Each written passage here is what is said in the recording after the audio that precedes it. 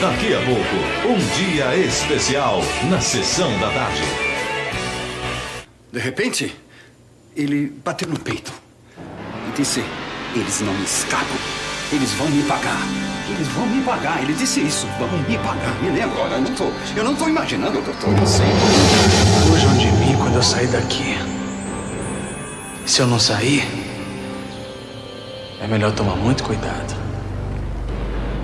Vou pegar os dois.